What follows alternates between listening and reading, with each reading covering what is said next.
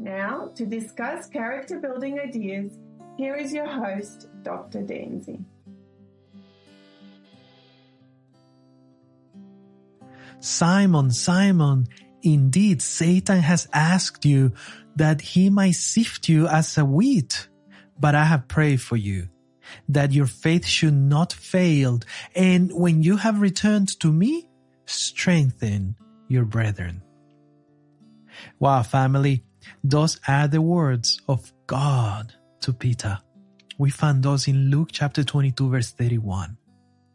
Oh, by the way, welcome back to this practical Christianity series on making friends for God. This episode is based on the Sabbath School lesson number four titled Prayer Power Interceding for Others. As I think of intercessory prayer, I think of heaps of things, things that I have prayed for on behalf of other people. It is interesting to see in the story of Christ and Peter how Christ addresses everyone.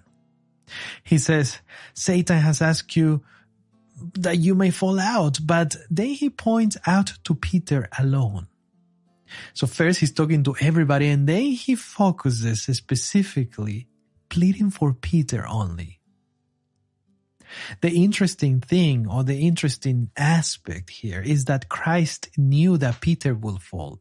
And yet this did not stop him from praying for Peter, almost as if knowing, look, I need to pray for you because you'll be back and I need your faith and your experience to be of, of, of some benefit to other people. How would you feel if Christ was telling you directly, you know what? I know you will mess up but I am still praying for you. Now think with me. Can you think of any other examples where Satan had power over a child of God?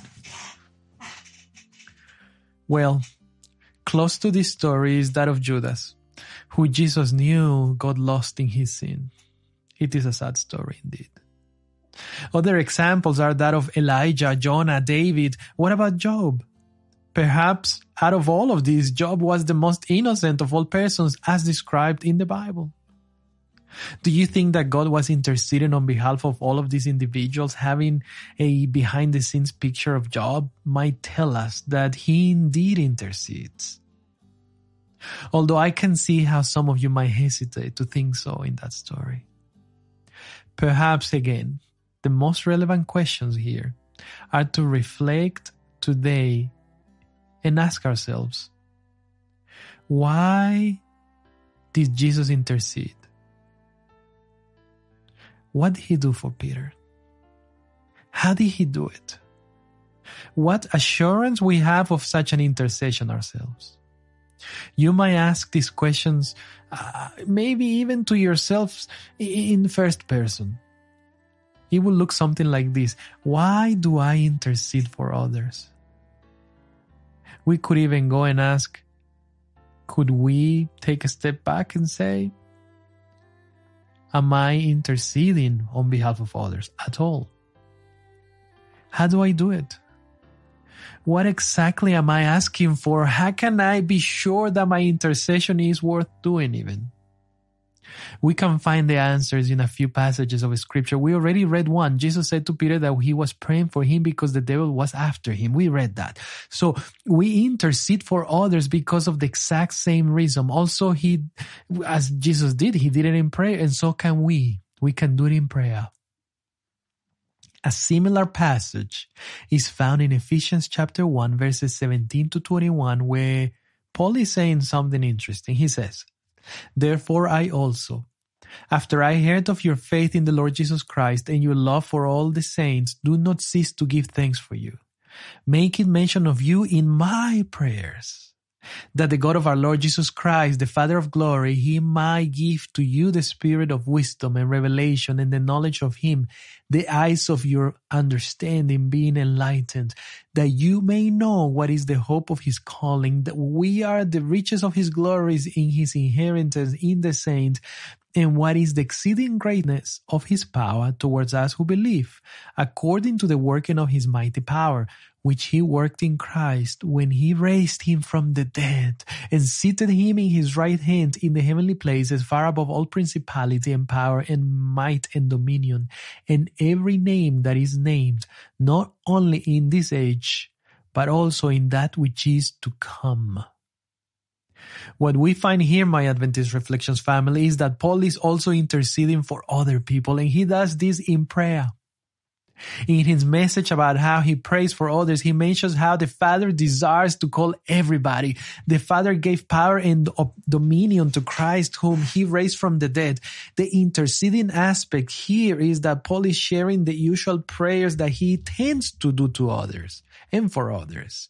It is as if he was saying, look, I'm going to show you my prayer request. It is as if saying to the people he's interceding for, look, I am interceding for you. Look at the prayer list. It's like saying, hey guys, you know what? I care. Paul was basically doing the exact same thing that Jesus was doing. So, what are the parallels here? We have a few. Number one, both of them actually mention what they are praying for. They mention specifically what they're praying for. It, it was just, it wasn't just like a, hey, I am praying for you. That's something that I know I tend to do. First, in the passage, Jesus said, I pray for you that your faith should not fail. Paul, on the other side, is saying, I mention you in my prayers that the God might give you the spirit of wisdom and revelation in the knowledge of Him, that your eyes of understanding be enlightened, that you may see the hope of His calling. Basically, both are praying for the same faith of those whom they intercede for, and both are making it clear to them that this is what they're praying for. Now, this is the interesting thing, and I would like to invite you to indeed reflect on this. Ask yourself, how many prayers have I lifted up to heaven asking for someone's health? Maybe somebody's well-being in general somebody's studies somebody's relationship somebody's job etc etc etc as compared to how many prayers have i lifted for someone's faith? How many times have i let them know that the very same thing that i'm praying for is about that it's about them it's about their faith? The second parallel about paul's theology as well as that for Jesus in relation to the intercessory prayer might be found in Hebrews chapter 7 verses 20 to 28. I invite you to read it in your time and maybe soon after you finish to this episode. Or even better, pause this and read it now. So, in this passage, Paul is saying that the Father confirmed Jesus' intercession for us as valid, as relevant. Jesus did not need any oath. That that that is as if saying he did not need any confirmation of anybody. He didn't even need to swear to you, you know, believe me, believe me, this is gonna happen. He was confirmed by the Father himself. Jesus Christ knew this. He is God and he had and continues to have, even after living here as a human flesh, um, the access that he only has to the Father. And he grants us the same access through him. So the parallel is that intercessory prayer in faith for the faith of others is of much value when done in the name of Jesus Christ. Now, I am not producing an idea that we are not to pray for our physical needs because that would be like denying what Christ said in the Lord's Prayer as we know it, where he says, Give us our daily bread. And he encourages us, encourages us in, in other passages to pray for our needs. But we know that God knows such, such things. He knows our needs. What I'm saying here is that if we are in the business of saving souls, and when I'm saying business, I'm not saying you are here to make money. There is no reward. I mentioned this before. Nobody has anything to gain by bringing others to Christ except the joy of the salvation of others, the love of God. So if we are in this business, in this idea of saving souls, those other aspects, the physical aspects, are not as necessarily important. They are not as relevant to pray to God about in intercession, but we are to pray for their faith, to intercede that God deploys hosts of angels at the command of the Holy Spirit to reach out the minds of those who we love and those who, with whom we interact every day, those who God wants to reach out through your intercession. From the book Making Friends for God, Mark Finley shares four practical recommendations that I would like to share with you as we finish. Number one, set aside a specific time and place to seek God for the salvation of others. Number two, ask God to impress you with the people who need prayer. The Holy Spirit will impress you with the names of those in need. Number three, make a list of those who you are impressed to pray for. And number four, invite others to join you in your times of intercession, just like Jesus invited Peter, James, and John into his inner circle for times of earnest prayer. Pray silently and ask God for the needs of those around you. But also pray out loud so that you focus on your prayers and avoid your mind from wandering. There is indeed something special about praying aloud that keeps us focused. When we have an appointed time to meet with God, a designated prayer place, our audible prayers become more meaningful and our prayer life is enhanced. We don't have to worry about Satan hearing our prayers because at the sound of earnest prayers, Satan's whole hosts and himself tremble and flees. When we seek God in prayer, heavenly angels encircle us. The evil angels are beaten back and we can commune with God in confidence. When we pray for others, our prayers unite us with Christ's prayers, our mighty intercessor in the throne of God. He immediately employs all the resources of heaven to positively influence the ones for whom we are praying. Jesus prayed for Peter by name. He prayed that Peter will experience a deep conversion. Jesus' prayers were answered, and Peter became the mighty preacher at Pentecost.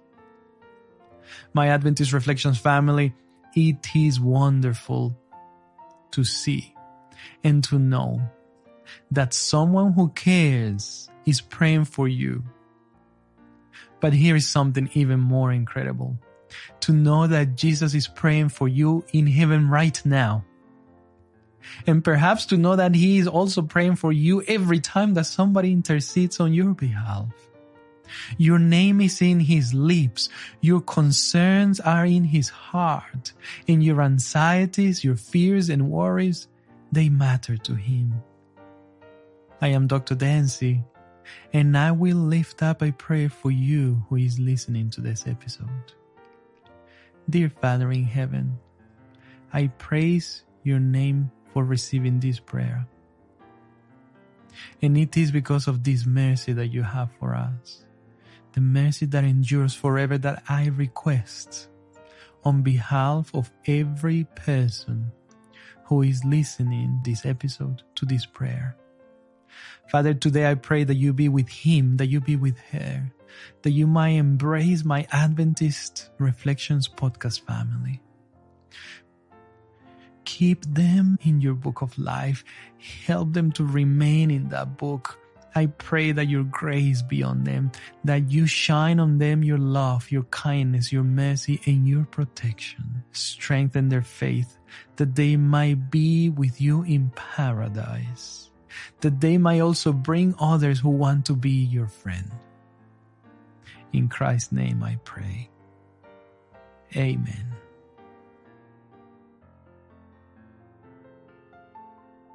Have you listened to our mental health podcasts? It's called Gluten Time.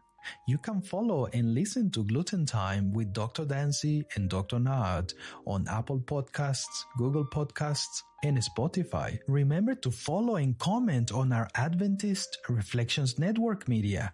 You can find us on Facebook, Instagram, YouTube, Twitter, and see when we release new episodes. We also have podcasts in Spanish. Go check them out. God bless you.